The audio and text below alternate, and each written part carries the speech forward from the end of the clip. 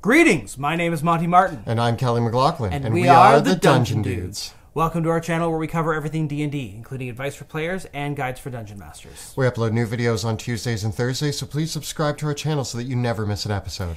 Today we are once again diving into the D&D 1 expert playtest rules, but this time rather than looking at the classes, we're going to dive into the rules glossary and the feat changes that came with this packet. This is a pretty large document, so we have broken it into two videos. If you haven't checked out our first video where we go over the expert classes, then you can check that out right up over there. But for this document, we want to focus on some of the feat changes, the rules glossary, and there's a lot of pretty interesting changes here. Keep in mind though that this is playtest material. 1D&D is not coming out until 2024, and we have actually seen in this document that from their first document that they released, they have been listening to the feedback because they've already reverted some of the rules that we talked about before that we wanted them to revert. Ability checks don't crit! so they are listening, and that actually was really encouraging Yeah. to see in this document Yeah. because it means that we have the opportunity to give our feedback, and Wizards of the Coast is going to listen if enough of us say we don't want that. But also, we should talk about what we do want and what we do love. And there is a lot of good stuff in this document, but it is playtest, so keep that in mind. So we're going to look at the feats, the epic boons, and the rules glossary. There's a lot to discuss, so let's get rolling. Let's kick things off by discussing the new feats. And when I say the new feats, I mean they're the old feats, but they're revamped and reconfigured. And there are some interesting changes here. First and foremost, almost all feats are now half feats, Yep. which includes a plus one to an ability score. I think that that's awesome because most of the time when I was looking to grab a feat, unless it was something very, very specific, you're looking for a half feat to sure up those ability scores. There were minor changes, at least in wording or effect, to almost every feat. Everything from athlete to charger, even minor adjustments to ritual caster, which now also gets a plus one. There's also a couple feats that are conspicuously missing, ones like magic initiate. But I think the biggest element to discuss here is what's happened with Great Weapon Master and Sharpshooter. Great Weapon Master and Sharpshooter, if you are unfamiliar with them, we talk about them all the time on the show, are two of the most powerful feats in the game. Both offer the option for either whether you're wielding a ranged weapon like a bow or a crossbow, or if you're wielding a two handed weapon, you have the option of taking a minus five penalty to your to hit roll for a plus 10 to your damage. In both cases in this document, that element of those feats has been removed. Now, if you are the same as me, your first reaction is, oh my god, I hate this so much. What have they done? When I took some time to really think about it, though, I realized that not not only do I love those feats and take them every opportunity I hmm. get, but I also feel like that is the most metagaming part of me that loves those feats. When I take those feats, when I drive towards picking those feats, it's not because I'm like, ah, my great weapon master, barbarian, has trained so well with his sword that he hits it. Like, I'm just like, I want plus 10 damage. Give me plus 10 damage. Give me that sweet, sweet damage. And it definitely made the game hard to compare to the characters who could take it in terms of damage dealing. By removing those elements, I actually think at the end of the day, my final statement that I've come to is this is probably a good thing for the overall balance of 5th edition D&D. It probably is. This is one of the places where I mentioned in our last episode, I really want to hear from the designers of the game where their intentions lie with character optimization and damage.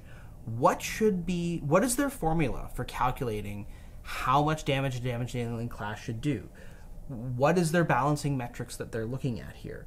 Because then we could offer more specific feedback on whether or not feats like this are needed or not. Because I'm of two minds here. I worry that without Sharpshooter and Great Weapon Master, and with lacking the view of other changes to other classes, what is the damage dealing meta going to be in the next iteration of the game? And I really, th- this is one of the elements where it makes it really hard to make these assessments without a full slice of all the damage dealing features that are going to be in the game. Because we can't really offer feedback on what the damage should be on these features until we see everything across the board all at once. I also think the other danger that we run into with this, aside from the fact that yay balance is good and those feats were probably too good, but on the flip side, it's well known in D&D 5th edition that spellcasters kind of outperform melee combatants. But not as damage dealers.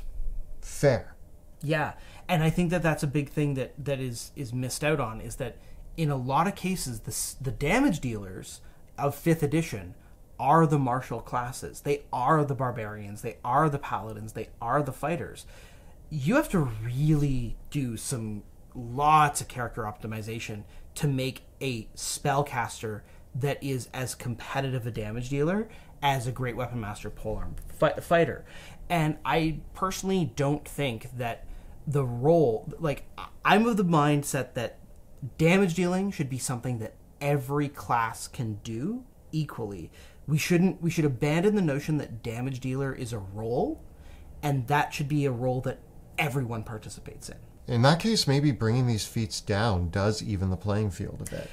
It, it does. It does squish things. Um, but where it does, we, we just don't know. Yeah. Because, I mean, look at, we could get a playtest packet where spiritual weapon requires concentration and fireball does 5d6 damage.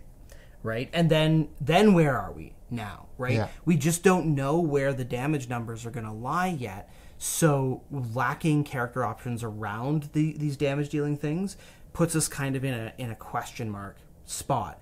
Again, once again, I believe that really damage dealer as a party role shouldn't exist. Yeah. Every class should be able to deal damage and then do another awesome thing.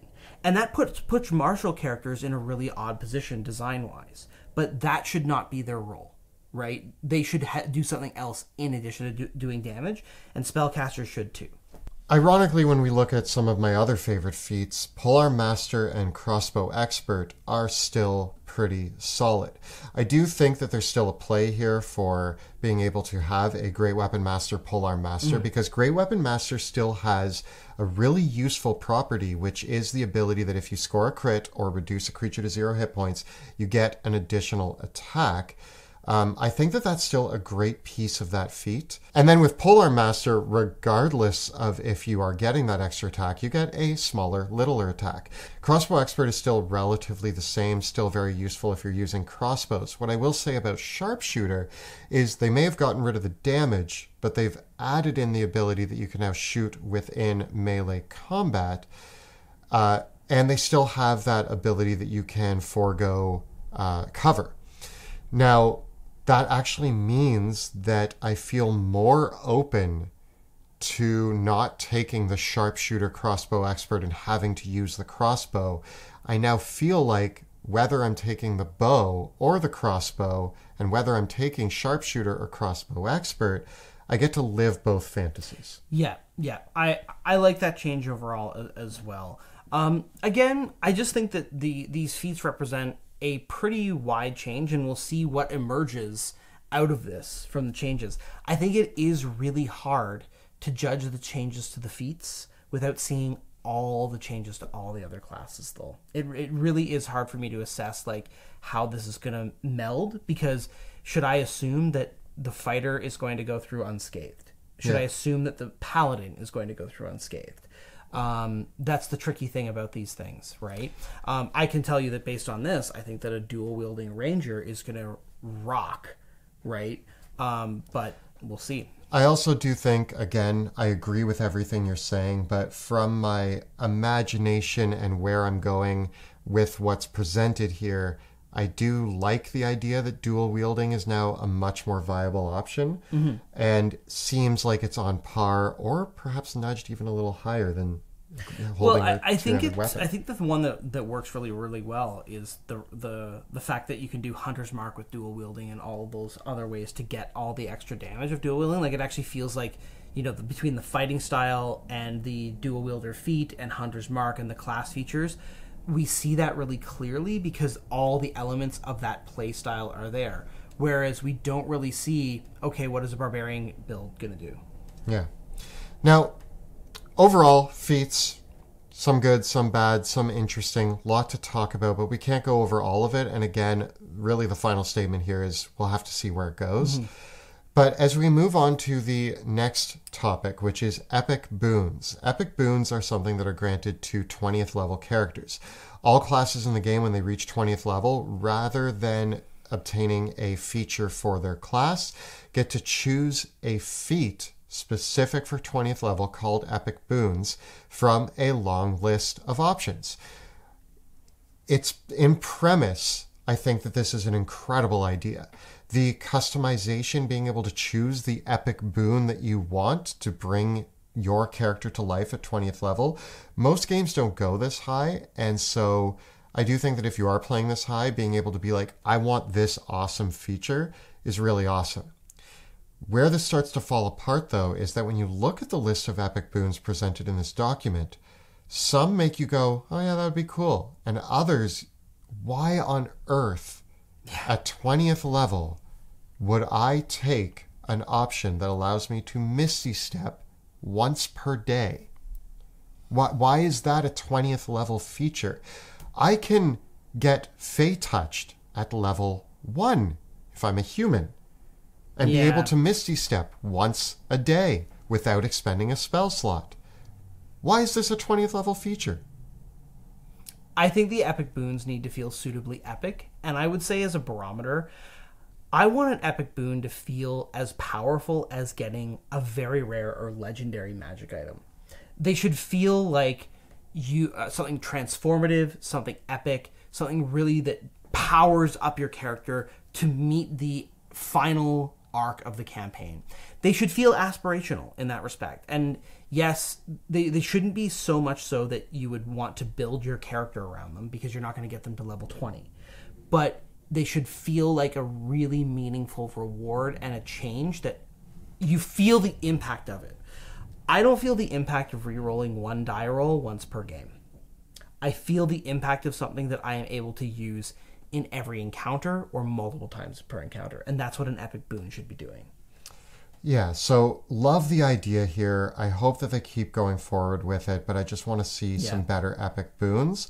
I also think that there's an argument here that although I love the versatility presented, you could make epic boons class specific.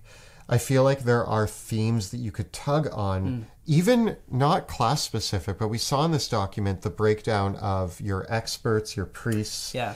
You could have expert epic boons, priest epic boons. So there's a weird thing here where there's so many things that are weirdly solved by fourth edition that then got missed in the trans lost in translation. Fourth edition did this cool thing with with its paragon paths, which the paragon paths basically got turned into the subclasses of fifth edition. That that's kind of the way that that that design process got bolted on there. It just happens earlier in the character's career. Fourth edition had this thing called epic destinies, which were not necessarily class specific, although some of them were class restricted. One of the epic destinies literally was demigod, and your character was on the path to becoming a god through that epic destiny. And all of them had these really cool, impactful features that oftentimes built on what you got at earlier levels. And so I think that maybe let's just crack open our fourth edition player's handbook and grab some of those epic destinies and use some of the features that were gained there or the feeling of those features in the epic boons. I, I can agree with that. Lastly, we come to the rules glossary section, and there's a lot of small things to talk about here. So we'll just get started and go down the list of all of the changes that stood out to us. There's a lot more than what we're going to talk about, but read the document for yourself. The, this is what stood out to us. Barkskin and guidance got changed. Bark like both these changes. Yeah, both got meaningful improvements that I think make both more useful. The guidance change, similar to the way Bardic Inspiration changed, guidance was tough to use in the way that it was worded, but now it's a reaction. Yep. I just think the only change that I would make with guidance is I think it would be totally fine if a creature could benefit from guidance again after a short rest. I don't think it needs to be as as stringent as that. Yeah. Yeah. Right. Um, I once again we mentioned this off the top, but the reversal of the automatic success on an automatic failure on ability checks appears to be gone. Yeah. So that means thank you, Wizards of the Coast, for listening. We appreciate it and good job. Um, another big change here that I really enjoy and that has been discussed on the show and talked about within the community a lot is uh, equipping and stowing weapons. Yeah, so you can now just equip or unequip an item before or after taking the attack action. I like this change. I think that it just smooths things out. Like I don't really like having to worry about the action economy around what I'm holding in my hands. It's it's one of those weird nitpicky things and I just like the idea that whatever you're doing with your action, you can get what you need to do that action with. Um, there's still a little bit of this in, in that I think the dual wielder feat still lets you draw or stow two weapons, and I, I just wish that would just die. Like just just let us grab like change whatever you're holding once per turn. Like Yeah. Now, when we come to uh, an example of if it ain't broke, don't fix it, but they tried to fix it, is the exhaustion rules. I don't really think I had any issue with the exhaustion rules. I did. I thought that the exhaustion levels got very punishing very quickly. So I think that a lot of player characters, once you got one or two levels of exhaustion, you're like, I'm tapping out, I'm done. Whereas now you'll getting one or two levels of exhaustion sucks because it's a minus two penalty, but it's not. It doesn't suck so much that you're gonna stop adventuring for the day. See, maybe maybe this will actually have a better impact because my also my my other issue with exhaustion is that aside from stupid barbarians who pile on their own exhaustion levels at our tables um, there is also the fact that i rarely see exhaustion come up Because one or two exhaustion levels are so strong. yeah Yeah. And now maybe it's more free to use them Yeah, I, I I do. It's still one of those weird places where, hey, this is the only place in fifth edition so far where there's an actual penalty to your d20 rolls, which makes it a weird outlier that that it's a numerical penalty as opposed to advantage and disadvantage. So that's the only thing that makes it stick out like a sore thumb. Yeah. Yeah. Speaking of sticking out like a sore thumb, I have a few issues, not overall, but just with the way that they've presented the special movements. Hmm. This is another section that there's actually quite a bit here, and I think that the wording could have been clearer because it took me a little while to figure out what was going on. The idea here is now that if you have a walk speed, which we all all characters do, but then if you also have a climb speed, swim speed, or fly speed, you now have to, on your turn, choose which movement type you are going to use. I believe, and again, this would be helpful to have their intention behind Yeah. this. I believe the intention is that it was complicated when you had a 30 foot movement and a 40 foot fly speed. There was some weird math involved that you could move 15 feet and then fly like The trip up was that there actually wasn't weird math involved, right? Was that if you had a fly speed of 60 feet and a and a swim speed of 30 feet, that you could swim 30 feet but then still fly 30 feet. Like all the movement modes counted against the maximum. But now it's different. Now it's different. Now you choose your movement and you move for that type of movement for your turn. At first, I was like, well, climb speed. What if I want to run the five feet up to a wall and then climb it? And at first, I thought you couldn't do that until you actually read the section on climb speed that says you can use your climb speed on a horizontal surface. Yeah. So I guess you get down on all fours and skitter across the ground and then up a wall. no, I'm not going to describe it like Yeah. that. But they included that text and I went, oh, good. And then I read the swim speed, which didn't include that text, which means that I if I'm standing five feet away from a pool and have a swim speed, I can move the five feet, jump into the pool, and have to swim with the penalties that would be associated with it until I either use the dash action or I wait till my next turn to actually use my swim speed. If we're going to include the text in the climb speed, I think that we should include it in the swim speed as well. Fly speed doesn't matter because you're just flying. I, I'd actually say with the way the rules are worded right now, we could simply say that climbing and swimming count as difficult ground, and that there is a climber trait that lets you ignore it, and a swimmer trait that lets you ignore it, and just let fly speed be the separate thing. Because it, it feels okay if a fly speed is, is a separate thing, because that's often going to be a variance. But at least as far as player characters are concerned, all the class features that we saw for rangers and rogues, you gain a climb speed equal to your walking speed anyways. So having just to be a climber trait that difficult that climbing doesn't cost you extra movement, swimming doesn't cost you extra movement. And then it would be fine if the special movement speed really was just flying and probably burrowing. And those are both speeds where it probably feels okay that you shouldn't combine those. But I think that swimming and climbing are often combined with a regular movement mode. And so we need the rules to support that. One other thing that I thought was really interesting was the codification of influence, search, and study. This seems to be trying to take elements of the game that were a little bit too open ended and add some mechanical rules to them. How do you think they did? I think that it's great that these exist here, but I think that more work is needed with all of them. I. So I think with the study action, this is again another thing that many in the community have pointed out used to exist in fourth edition.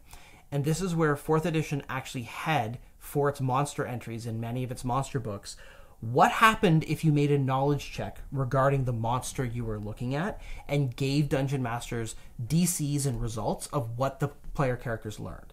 And I personally think that the study action baked into that table should actually be like this result allows you to learn if the monster has resistances or immunities. This result allows you to learn about one of the monster's attacks or something like that. That would be really cool, and that would actually make the study action worth doing in combat so that you can actually learn what your monster or what your foe does. The big one that I love, but also, again, it's a step forward but a step back for me, is the influence action. The really cool thing about both, for me, study and influence, uh, study does give some clarification for me on using the intelligence based skills, which a mm-hmm. lot of people have a hard time using at the table. So having a mechanical background there to to kind of promote when to use it is really great. It needs some finessing.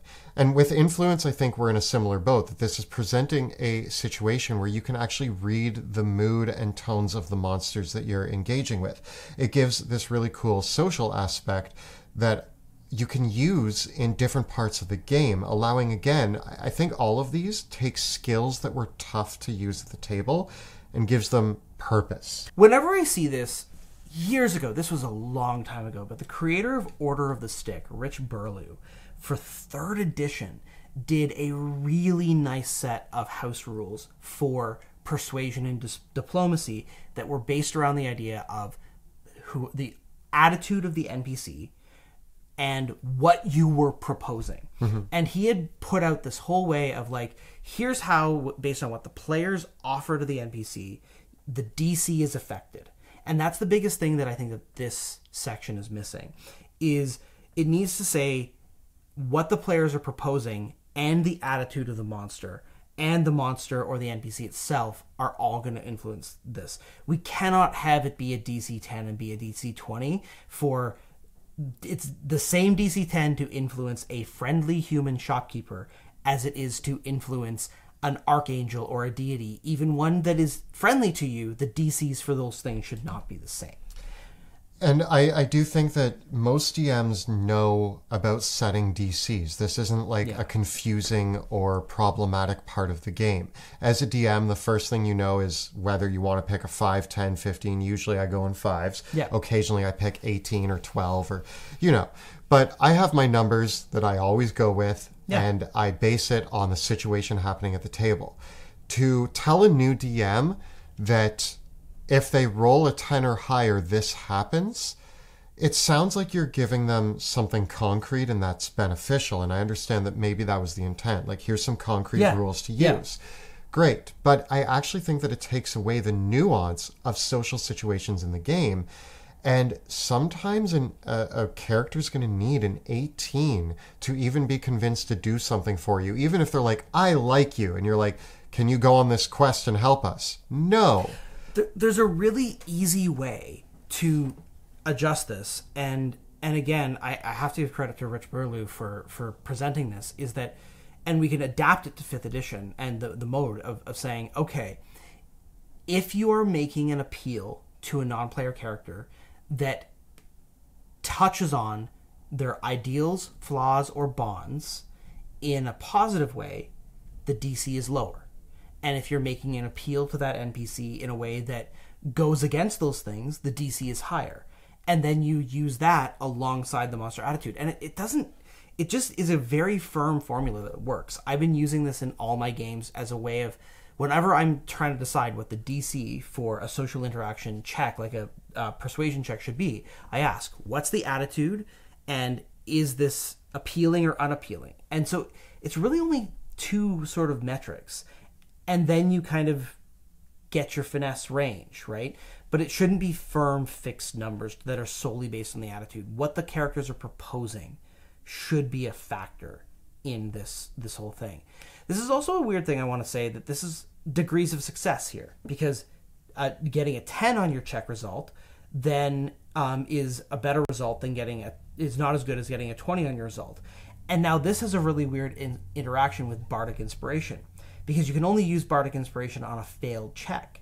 So if you get a 10 on your persuasion check, you succeeded at that level.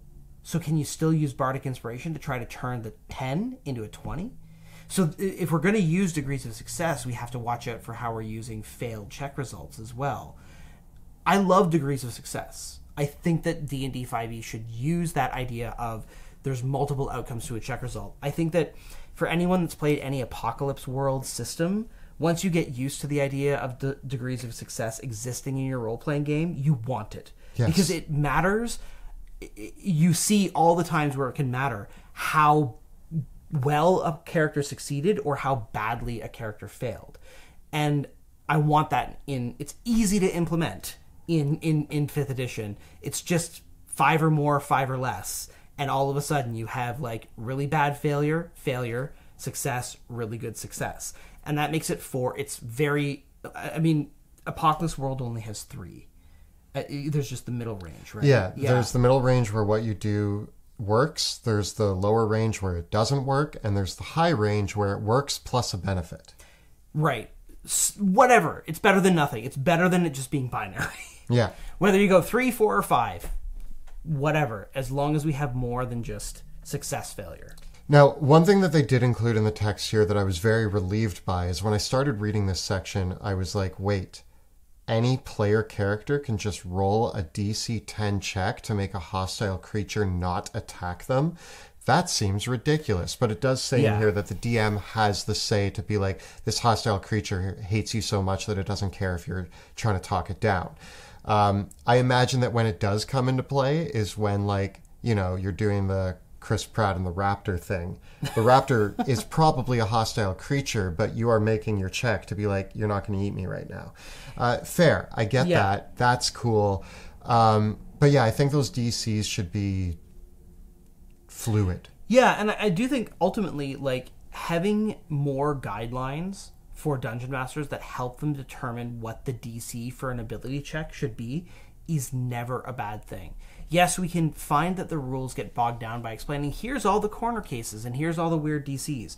But I liked that. Like I found that 5th edition was a little bit too light in saying here's how to pick your DC. Well, whatever, you know, just pull a number out of your butt and that'll be fine. And oftentimes you ended up defaulting to either 10, 15 or 20 Yep. right? But even Numenera and the Cipher system, which is a D20 based system, it it has actually I think Numenera probably has the coolest chart for this, uh, the Monte Cook Cipher system, where it goes up in increments of three, and it really clearly explains what the different check results from a DC zero to a DC thirty actually mean, and that for me, like you can actually just completely use that yourself as a dungeon master in any D20 based system, and you're like, oh, Monte Cook figured it out. But of course, Monte Cook did because he made third edition D&D. Yeah. Right? So he's using that from third edition, which is the granddaddy of all this stuff, uh, at least of the modern iterations. I think that overall, again, we're nitpicking and talking about things that we would like to change even further. But Yeah. at the same time, I think that overall, I actually love a lot of this document. I think that this the, that that attitude reflects two things. It's overall a conservative set of changes. It's tweaks, it's iterations, and I think that we're just kind of finessing how this edition's going to change. We're not getting that massive revision to D and D that maybe some people were expecting. What I do think we are getting, though, is a Wizards of the Coast that is listening to the community because so many changes that are hidden away in this document that got me the most excited were things that I have heard being mumbled and talked and whispered about on the internet, on forums, in our own community, on our own channel, everywhere uh, for years. So to see those changes being implemented, yeah, there's a few new things that they're trying out that I'm like, ah, you don't really need to change that. But there's a lot of good that I Yeah. that I've just I'm excited. I wish I was using the one D and D rules for my rogue because I just hit level 13 and I want that level 13 ability. I mean, we could try them out, um, but I, I feel like what the weird thing about this is like we've talked about streaming a couple games where we playtest D and D one, and I feel like if you streamed it, you with the flow of how a, our, a stream game goes, we would forget things. Yeah. because I think that's the actually the hardest part about playtesting this is that so many of the changes are so close and are so similar that it's really easy to forget where the changes actually are. That's going to be the challenge Yeah. for me is when this does come out, I'm going to have been DMing 5th edition for years Yep. and I have everything up here that it's going to take a while to uh, as as Yoda said, I must unlearn what I have learned. Yeah. Whereas if you're playing a completely different system, like you know, you're you're being more careful. But like I could see literally playing a playtest of D and D one and going for an entire encounter without actually realizing what version of the rules we're playing with. Yeah. All in all, I would love to hear what everybody else out there thinks of the changes happening here. What did you love about this document, and what do you think could use some extra tweaking? Tell us about your thoughts on this playtest document in the comments below. And as before, please keep the comments constructive and friendly. Um, of course, with any edition change, there can always be lots and lots of feelings around how things are changing, how things are iterating. But we just want to just give that friendly push to be nice in the comments, be constructive, so that we can all contribute to the evolution of this game that we all enjoy playing. Yeah. So this has been a look at the one D&D expert classes document released for playtesting recently by Wizards of the Coast. Again, let us know what you're thinking in the comments below. The videos that we create on our channel are made possible because we have an amazing Patreon community that helps support our work. If you enjoy what we create here on YouTube, please consider becoming a patron of our show by following the links in the description below. And if you want to see us playing D&D, you can check out our live play in the Worlds of Drakkenheim, which airs Tuesday evenings on Twitch. You can find all the previous episodes right up over here. And we've built a new playlist to compile all of our discussions on the D&D 1 playtests right up over here. Please subscribe to our channel so that you never miss an episode. Thanks so much for watching. We'll see you next time in, the, dungeon.